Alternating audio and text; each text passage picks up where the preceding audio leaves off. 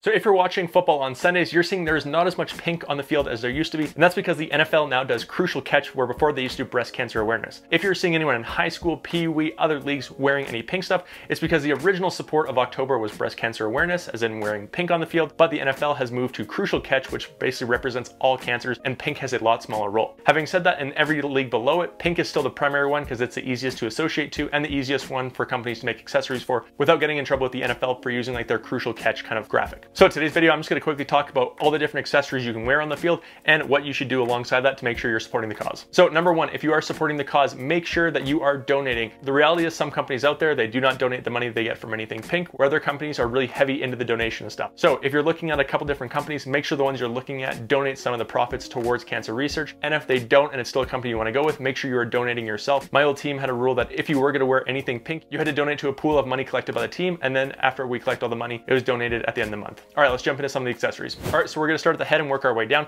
First thing on the inside of your helmet, if you did wanna try, you could pick up like a shiesty. So I don't have any of the pink ones. You could just use a shiesty like this and get one in all pink. Very bold way, but you could wear this on the inside of your helmet if you'd like. Outside of that, one of the really easy ones is gonna be a mouth guard. Mouth guards are cheap. This is a Sleefs one here, but again, Sleefs did not sponsor this video. So you could just go with like a Sleefs lip guard here, and you want the lip guard because it gives you that nice big bit of pink. Or if you just have a detachable strap, you could just do the strap as well.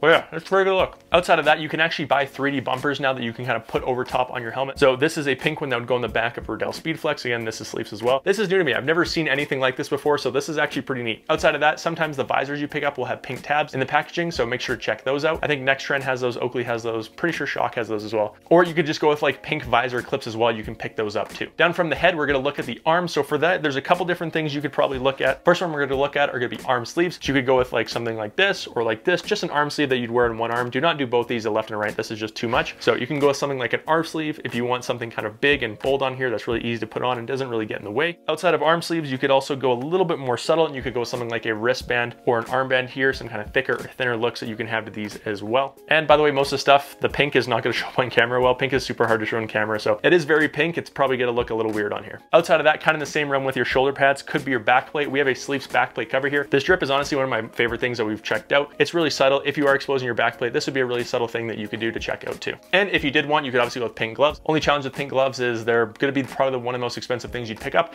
and you can realistically only use them for about a month of the season, which doesn't really get you your value. But again, I'll link some below if you wanna pick some up. Now the last thing we're gonna look at is legs, and the reason we actually made this video is because a lot of this stuff when we made this video years ago, some of these accessories didn't really exist back then. First one being scrunch socks. Scrunch socks were not around back then. So you didn't have these really long, big pink socks like we do now. These things are massive. You can scrunch these things up. Again, these are Sleefs, but you can pick up all these kind of accessories from Sleefs, battle sports, NXTRND, phenom elite. They all do really similar stuff in this world. If you have a pair of game socks that you already really like though, and you just wanna go with something over top, you can go with the scrunch sock look, but it's like half a sock, so it doesn't have the actual sock part and just slips over top of your leg. Outside of that, you could also spat your cleats with actual like pink spat and pink tape. But if you don't like that spat feel, not everyone does, you could go with something like a spat cover here. This is basically just a piece of compression material that goes over top of your cleat and over top of your high ankle. But yeah, that's gonna be it. Tons of different things you can check out. More of the story is make sure if you're gonna wear any of this to donate, again, I'll leave links down below to a bunch of different accessories you can check out for yourself. Hope you guys enjoyed today's impromptu video. I'll see you next time.